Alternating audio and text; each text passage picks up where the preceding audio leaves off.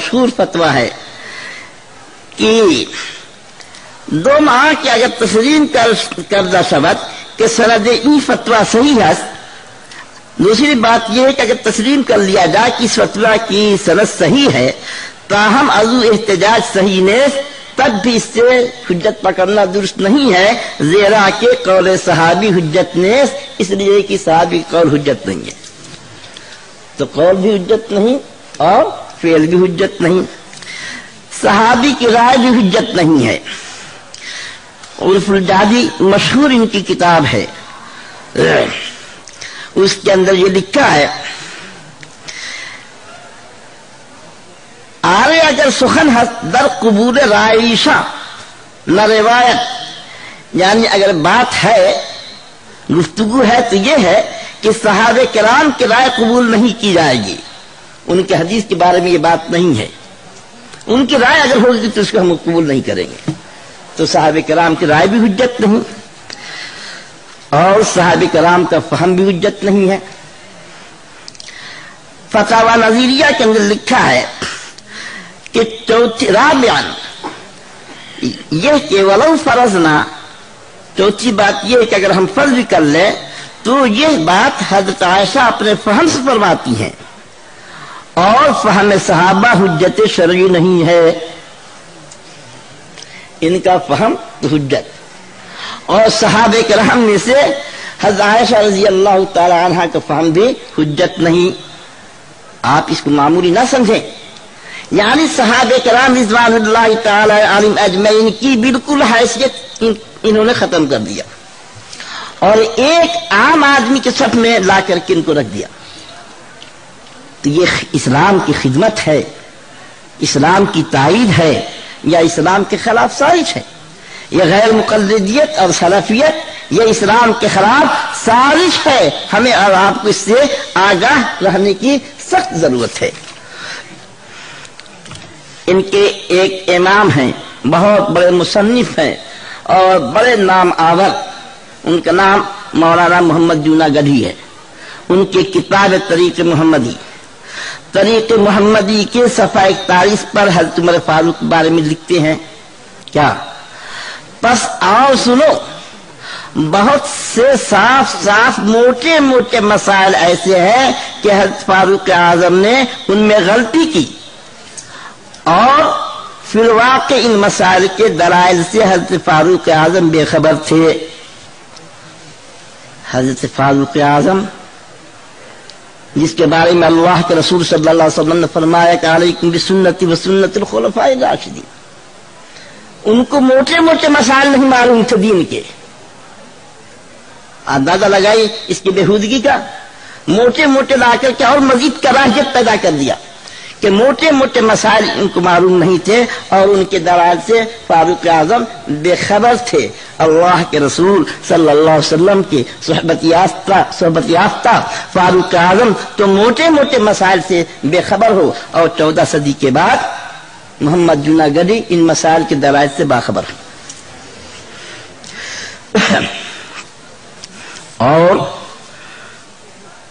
کیا خلفاء راشدین جن کے بارے میں اللہ کے رسول صلی اللہ علیہ وسلم نے فرمایا، علیکم بسنتی وسنت الخلفاء راشدین اس کے بارے میں ان کا ایک عالم تنور الافاق کتاب کے اندر کہتا ہے کہ اسی بنا پر ہم دیکھتے ہیں کہ اپنی ذاتی مسلحت بینی اردو آپ لوگ سمجھ رہے ہیں؟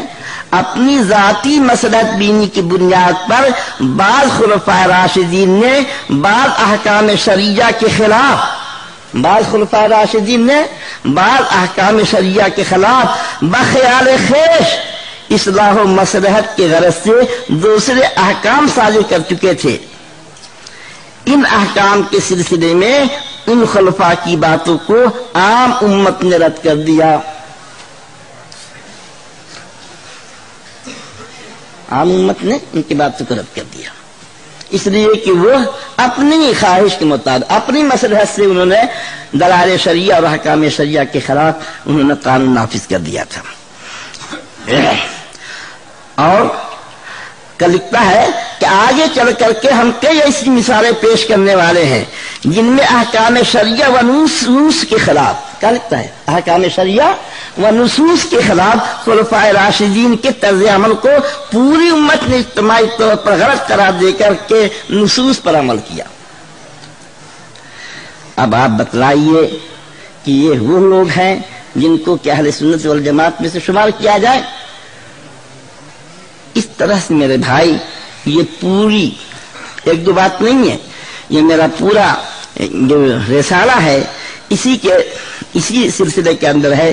اگر ساری باتیں اگر آپ کے سامنے لائی جائیں جو صاحب کرام کے بارے میں لکھتا ہے کہ قرآن مجید کی دو آیتوں اور پچاسوں حدیث کو حضرت عمر اور ابن مسعود کے سامنے پیش کیا گیا۔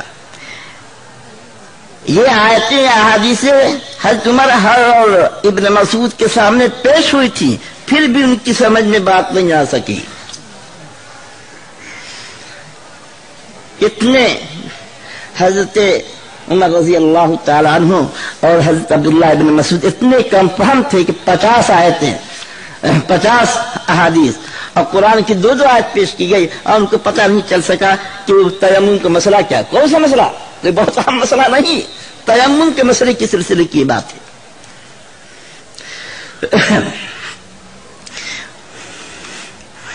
لکھتا ہے کہ موصوف عمر نے با اعتراف خیش قرآن حکم ترمیم کر دی۔ اللہ کے رسول صلی اللہ علیہ وسلم حضرت عمر فاروق کے بارے میں فرماتے ہیں کہ قدم دل اللہ الحق علی لسان عمر۔ اللہ کے رسول صلی اللہ علیہ وسلم فرماتے ہیں کہ حضرت عمر رضی اللہ تعالیٰ عنہ جس وادی سے جس راستے سے چلتے شیطان وہاں سے بھاگ جاتا ہے۔ شیطان وہاں پر نہیں رہتا۔ اور اتنا بڑا اتحام اتنا بڑا الزام کہ قرآن حکم ہے تمہیں رضی اللہ تعالیٰ نے ترمیم کر دی۔ قرآن حکم یہ تھا کہ ایک وقت کی تین طلاق ایک ہی ہوتی ہے۔ حضرت عمر نے اس میں ترمیم کر کے تین کو تین کر دیا۔ اور تمام صحابہ کرام رضوان اللہ تعالیٰ علیہ اجمعین نے ایک وقت کی تین طلاق کو تین ماہ ہونا مان لیا۔ تمام ائمہ متحدین نے مان لیا۔ ساری امت کے فیصلہ ہے کہ ایک وقت کی تین طلاق تین ہی ہوا کرتی ہے۔ یہ صرف ابن تیمیہ اور ابن قیم اور ان کے متبعین کی یہ بات ہے کچھ کا انہوں نے انکار کیا۔ امام بخاری، امام مسلم، تمام محدثین فقہ اربا اور حضرت عمر اور اس کے بعد کے تمام صحابہ کرام سب نے اس کو مانا۔ یہ لوگ دین کے خالم ہیں، کتاب اللہ، سنت رسول اللہ پر عمل کرنے والے ہیں۔ لکھتا ہے یہ شخص کہ حضرت علی رضی اللہ تعالیٰ عنہ نے جو تین طلاق کے تین ہونے کا فتوا دیا، ایک وقت کی تین طلاق کے تین ہونے کا فتوا دیا تھا، یہ غصہ نے فتوا دیا تھا۔ حضرت علی رضی اللہ تعالیٰ عنہ خلیف راشد واقضاہم علی۔ اللہ کے رسول صلی اللہ علیہ وسلم کا ارشاد ہے۔ اور وہ غصہ میں خلاف کتاب سنت فتوا دینے والے بن گئے ان کے نزدیک اس طرح سے عجیب عجیب باتیں ہیں۔ عجیب عجیب ان کے قصے ہیں یہ سب کیوں؟ اس لیے کہ اہل سنت والجماعت کا جو طرز ہے کہ ہم کتاب اللہ، سنت رسول اللہ اور صحابہ کرام نظام اللہ تعالی علیہ مجمعین اور ائمہ مطبعین نے جس انداز سے اسلام کو سمجھا، دین کو سمجھا، کتاب اللہ، سنت رسول اللہ کو سمجھا، اسی انداز سے ہم دین کو سمجھیں گے، تب جا کر کے اہل سنت والجماعت میں سے ہمارا شمار ہوگا۔ مگر یہ لوگ دین کے دشمن ہیں، آدمی کو آزاد بنا دینا چاہتے ہیں۔ حضرت امام شاہ ولی اللہ صاحب رحمۃ اللہ علیہ نے اہل سنت والجماعت کی تعریف کی۔ اہل سنت والجماعت کی تعریف حضرت شاہ اللہ صاحب رحمۃ اللہ علیہ نے کہا کہ کہ ہم الاخذون بما ظهر من الكتاب والسنه هم الاخذون بما ظهر من الكتاب والسنه وجرى عليه جمهور الصحابه والتابعين۔ کہ اہل سنت والجماعت ان کو کہا جائے گا جو کتاب اللہ سنت رسول اللہ کے ظاہر پر عمل کرنے والے ہیں اور جس کے اوپر جمہور صحابہ اور تابعین چلنے والے ہیں۔ کہ شراز مسائل پیدا کرتے ہیں، امت کے اندر تفرقہ ڈالتے ہیں۔ ایسی ایسی باتیں۔ تمام امت کا فیصلہ یہ ہے کہ تراوی کا فکات نہیں ہے ہے نہیں فیصلہ؟ میں کیا کر رہا ہوں؟ میں یہ نہیں کہتا ہوں کہ تراوی کی بیس رکعت، میں کہتا ہوں کہ تمام امت کے فیصلہ ہے کہ تراوی کی آفقات نہیں ہے۔ لیکن یہ آفقت تراوی کے قائل ہے تمام امت کا یہ فیصلہ ہے کہ ایک وقت کی تین طلاق تین ہوگی۔ تمام امت سے مراد ہمارے آپ سمجھ لیجیے، جن کو کہ سنت پر جماعت کہا جاتا ہے۔ جمہور صحابہ تابعین مگر ان کا یہ فیصلہ ہے، شیعوں کا یہ فیصلہ ہے کہ ایک وقت کی تین طلاق تین نہیں ہوگی۔ تمام امت کا یہ فیصلہ ہے کہ حیض میں جو طلاق دی جائے گی، وہ واقع ہو جائے گی۔ شیعہ کہتے نہیں ہوگی، یہ بھی کہتے نہیں ہوگی۔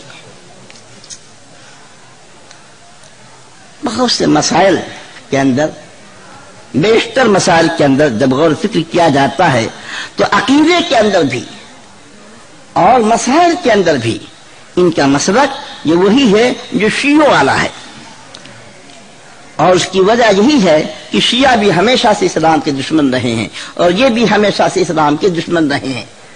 یہ چند نمونے اور یہ چند باتیں آپ کے سامنے اس لیے پیش کی گئی کہ بھائی یہ فتنہ بڑھ رہا ہے۔ ابھی ابھی میں مسجد منورہ اور مکہ مکرمہ سے ہو کر کے آ رہا ہوں۔ مکہ مکرمہ میں ایک پاکستانی ہمارے دوست ہے بہت متحرک۔ اور مدرسہ سولتیہ میں مدرس ہیں، ان کا سفر ہوتا رہتا یورپ کا۔ انہیں ابھی حال میں سفر کرنے کا اتفاق ہوا لندن کا، وہاں پر ایک کانفرنس تھی، مختلف جگہ کے لوگ جمع تھے۔ تو وہاں پر آپس میں بات، یہ ہوا کہ موجودہ زمانے کے سب سے بڑا فتنہ کیا ہے۔ تو سب نے بال اتفاق کہا کہ سلفیت موجودہ زمانے کا سب سے بڑا فتنہ ہے۔ آج آپ کے سروں پر ٹوپی ہے۔ آپ کا لباس، صبح کا لباس ہے۔ آپ جو ہے اللہ اللہ کرنے والے ہیں۔ یہ طبقہ آئے گا کہ ٹوپی پہن کر کے نماز پڑھنے کی ضرورت نہیں ہے۔ ننگے پاؤں نماز پڑھنے کی ضرورت نہیں ہے۔ نماز کے بعد سنتوں کو پڑھنے کی ضرورت نہیں ہے۔ اللہ اللہ کرنے کی ضرورت نہیں ہے۔ ذکر و اسکار میں لگنے کی ضرورت نہیں ہے۔ یہ طبقہ آئے گا اور آپ کے کانوں کے اندر یہ بات ڈالے گا اور یہ کہے گا کہ کتاب اللہ، سنت رسول اللہ تمہارے سامنے ہے۔ تم ان سے خود سے اخذ استعمال کرو۔ کسی کی تقریر کی ضرورت نہیں ہے۔ نہ امام حنیفہ کی تقریر کی ضرورت ہے۔ نہ امام شافی کی، نہ امام مالک کی، نہ امام احمد بن حنبل کی حتیٰ کہ نہ صحابہ کرام کی بھی اور خلفاء راشدین کی بھی تقریر کی ضرورت نہیں ہے۔ وہ لوگ بھی خلاف سنت عمل کیا کرتے تھے۔